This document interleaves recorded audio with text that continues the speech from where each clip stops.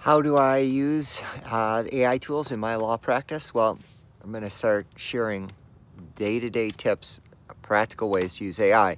So we get a lot of client intake emails uh, and literally hundreds a month. So we have a process through Salesforce of vetting those prospective clients by category of law, by can they pay, what are they looking for. I've got a GPT folder created with custom instructions and uploaded templates that allow me to simply cut and paste the intake information into the GPT with all the client name, background, what it is they're looking for. And then I tell it Salesforce first generic 550 or Salesforce first generic free.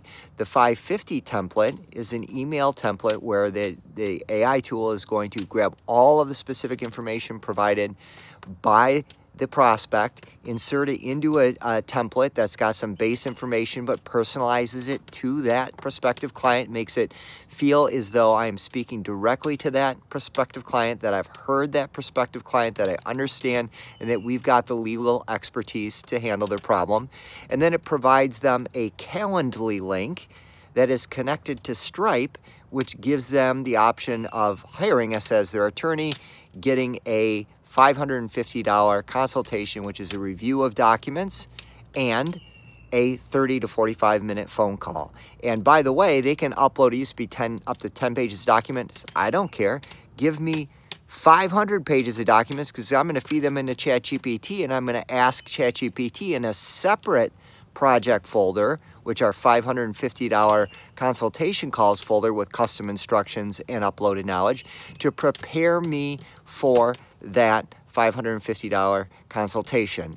And so this is just one example of how I use ChatGPT every single day using folders with custom instructions, folder specific memory, only remembering things within that folder, uploading templates so that it has some guidance. Here's what the output is supposed to look like. These are the guidelines that you're operating under. And my conversion rate on those prospective clients has tripled, maybe even quadrupled from the way we used to do it. Stay tuned. Every single day, I'm going to share with you a practical way in which I use ChatGPT in order to upscale our law firm.